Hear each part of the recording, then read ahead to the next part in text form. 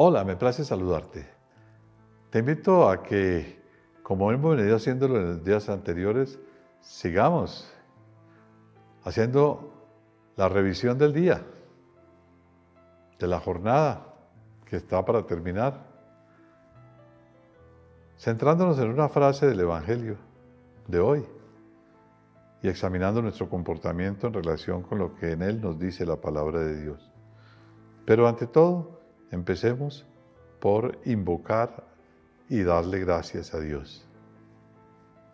En nombre del Padre y del Hijo y del Espíritu Santo. Amén.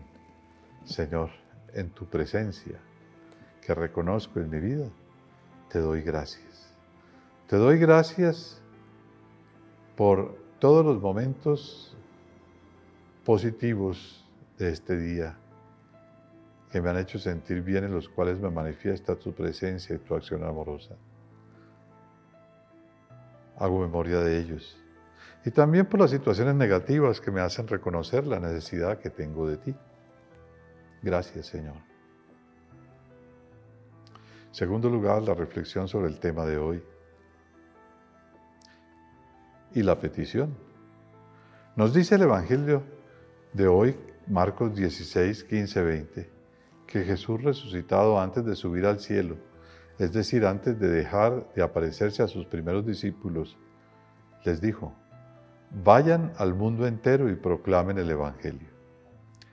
Apliquemos esta frase a nuestra propia vida como creyentes en Él, escuchándola y sintiéndola vivamente como dicha a cada uno de nosotros. Porque no fueron solo aquellos primeros discípulos, los apóstoles y otros que lo conocieron y siguieron durante su vida terrena, otros y otras, quienes recibieron esa misión de proclamar la buena noticia, que es lo que significa la palabra evangelio. Todos los bautizados, aún más después de haber sido confirmados en nuestra fe, tenemos también esta misma misión, proclamar el evangelio. Pero ¿qué significa proclamar el evangelio? Se trata en primer lugar de anunciar una buena noticia y por lo tanto de un anuncio gozoso, que es lo que el Papa nos invita a hacer en su exhortación, la alegría del Evangelio. Recordemos, Papa Francisco, del año 2013, el año del inicio de su pontificado, escribió esta exhortación que se llama así, la alegría del Evangelio. Las personas amargadas no pueden dar una buena noticia.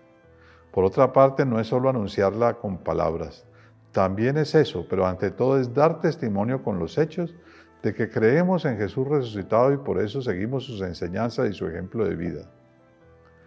Ten cuidado con tu vida, quizás sea el único evangelio que muchas personas vayan a leer, dijo San Francisco de Asís.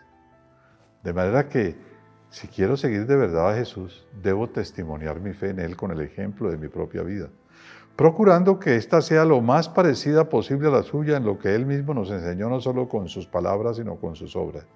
Y toda esta enseñanza consiste esencialmente en el amor. San Ignacio de Loyola escribió en sus ejercicios espirituales que el amor se debe poner más en las obras que en las palabras. Pero no se trata de cualquier amor, sino del amor en su sentido más auténtico y pleno, el de la entrega de la propia vida para en todo amar y servir a Dios amando y sirviendo a nuestros prójimos. Primero que todo, a los más necesitados. Jesús, dame tu luz para examinarme adecuadamente con respecto a la misión de proclamar el Evangelio. Reviso ahora mi comportamiento.